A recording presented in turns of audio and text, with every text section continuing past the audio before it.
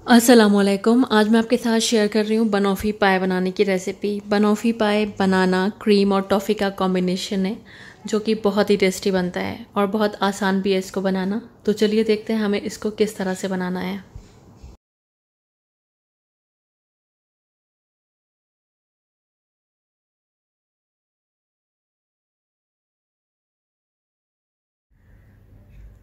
बनौफ़ी पाए बनाने के लिए हमें सबसे पहले टॉफ़ी बना लेनी है। तो टॉफ़ी बनाने के लिए मैं इस्तेमाल कर रही हूँ मिल्क मेड जो कि 400 हंड्रेड का एक टिन आता है और बहुत आसानी से बाज़ार में अवेलेबल होता है।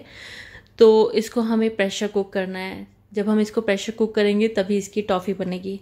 तो हमें इसको प्रेशर कुकर में रख देना है और इसमें इतना पानी डालना है कि ये इसमें डूब जाए। यानी कि पानी का लेवल ऊपर होना चाहिए और ये जो टिन है, ये नीचे होना चाहिए। तो इसमें सफिशेंट पानी डालेंगे अच्छा खासा हमें इसमें पानी डाल देना है।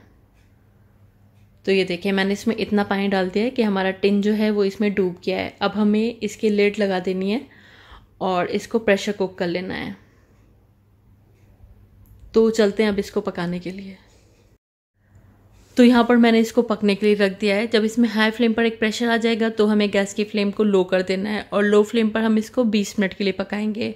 आप घड़ी में टाइम देख लीजिएगा। टाइम देखकर ठीक 20 मिनट के बाद आपको इसको बंद कर देना है और इसके प्रेशर को इसी में रहने देना है। जब प्रेशर खुद से निकलेगा, तब हम टिन को बाहर निकालेंगे।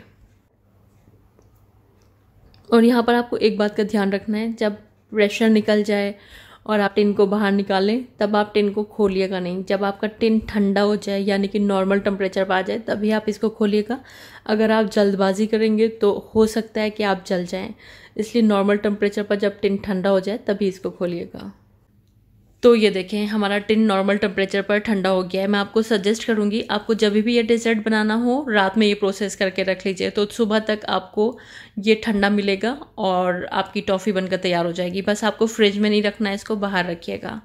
और ये देखें, हमारी टॉफ़ी बन गई है, जो हमारा मिल्क मेड था येलोइश कलर का होता है और अब ये कैरमलाइज हो गया है और टॉफ़ी की फॉर्म में आ गया है। तो अब हमें इसको एक बोल में ट्रांसफ़र कर लेना है।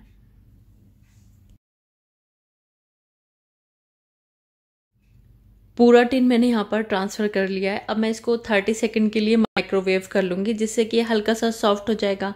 और जब हम इसमें क्रीम मिक्स करेंगे तो वो आसानी से मिक्स हो जाएगी। अगर आपके पास माइक्रोवेव नहीं है तो फिर आप गैस पर भी इसको हल्का सा गर्म कर सकते हैं। अब मैं इसमें आधा कप दूध के ऊपर जमी हुई मलाई डाल रही हूँ। आप चाहें तो फ्रेश क्रीम डाल लें या फिर आप विपिंग क्रीम भी डाल सकते हैं। और इसको अच्छे से मिक्स करेंगे। अगर आपको इसको मिक्स करने में दुशारी पेश आ रही है, अच्छे से मिक्स नहीं हो पा रहा है तो आप इस मिक्सचर को एक मिक्सी के जार में ट्रांसफ़र कर दीजिएगा और डेढ़ से दो मिनट के लिए चला दीजिएगा तो ये बिल्कुल स्मूथ हो जाएगा। वैसे विस्कर से भी अच्छे से विस्क हो जाता है, लेकिन अगर आपको इनकन्वीनियंट फील हो रहा है तो मिक्सी में कर लीजिएगा। मैंने इसको विस्कर की मदद से अच्छे से विस्क कर है और ये बिल्कुल स्मूथ हो चुका है। ये देखें। इसी तरह का हमें ये चाहिए। अभी हम रखेंगे इसको एक साइड में। अब हमें यहाँ पर इस्तेमाल करना है बिस्किट्स का। मैं यहाँ पर डाइजेस्टिव बिस्किट्स यूज़ कर रही हूँ। आप कोई से भी बिस्किट यूज़ कर सकते हैं, बस आपके जो बिस्किट है वो नमकीन नहीं होने चाहिए। यानी कि कोई भी बिस्किट जो कि मीठा है वो आप यूज़ कर सकते हैं। पंद्रह से सोलह पीस मैं यहाँ पर इस बिस्किट के यूज़ करूँगी, यानी कि पूरा पैकेट यूज़ करूँगी। तो इन बिस्किट्स को हम एक मिक्सी के जार में डालेंगे और इसका एक फ़ाइन पाउडर बना लेंगे। तो चलिए ग्राइंड कर लेते हैं इनको। तो यहाँ पर हमारे बिस्किट्स ग्राइंड हो गए। इसको हम एक बोल में ट्रांसफ़र कर लेंगे और इसमें दो टेबल स्पून मक्खन डालेंगे। आपके पास मक्खन नहीं है तो फिर आप देसी घी या फिर डालडा घी भी यूज़ कर सकते हैं। थोड़ा सा मेल्ट कर लीजिएगा इसको। मक्खन डालने से जो हम इसको सेट करेंगे डिश के अंदर तो ये इसको फर्म कर देगा। अगर हम मक्खन ही डालेंगे तो फिर बिस्किट्स का चूरा चूरा रहेगा, ये फर्म नहीं हो पाएँगे, इसलिए इसमें थोड़ा सा मक्खन डाला जाता है। अब हमें जिस डिश में डिज़र्ट तैयार करना है, उसमें हम ये बिस्किट्स का चूरा डाल देंगे, थोड़ा सा बचा लेंगे गार्निशिंग में यूज़ कर लेंगे और इसको पूरा इवनली स्प्रेड कर लेंगे और किसी भी चीज़ से इसको इस तरह से प्रेस कर देंगे जिससे कि ये अच्छे से फर्म हो जाएगा, अच्छे से सेट हो जाएगा और इसको 10 मिनट के लिए फ्रिज में रख देंगे। तो अब हम रख देते हैं इसको 10 मिनट के लिए फ्रिज में। इधर हम एक बोल ले लेंगे और इसमें एक कप हैवी विपिंग क्रीम डालेंगे। अगर आपके पास हैवी विपिंग क्रीम नहीं है तो फिर आप दो कप फ्रेश क्रीम का इस्तेमाल कर सकते हैं। मैं यहाँ पर ट्रॉपिकल की नॉन डेयरी विपिंग क्रीम का यूज़ कर रही हूँ। आप चाहें तो डेयरी भी यूज़ कर सकते हैं और किसी भी कंपनी की यूज़ कर सकते हैं। ये क्रीम आपको एकदम चिल्ड लेनी है, जिससे कि इसमें अच्छे से स्टिफ पीक्स बनेंगी। हमें इसको विप कर लेना है।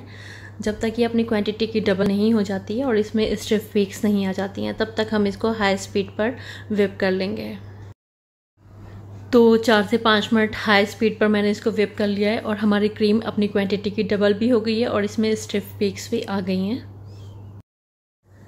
क्योंकि हम बनौफ़ी पाए बना रहे हैं तो हमें इस्तेमाल करने हैं banana. Banoffee banana plus toffee इसका कॉम्बिनेशन है। इसे मिलकर बनाए बनौफ़ी।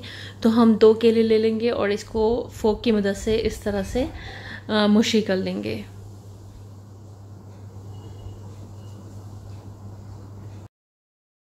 तो इधर हमने केलों को मुशी कर लिया है।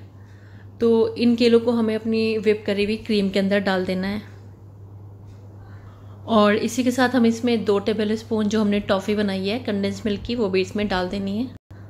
बाकी की हम बाद में यूज़ करेंगे और बहुत अच्छे से इसको मिला देना है।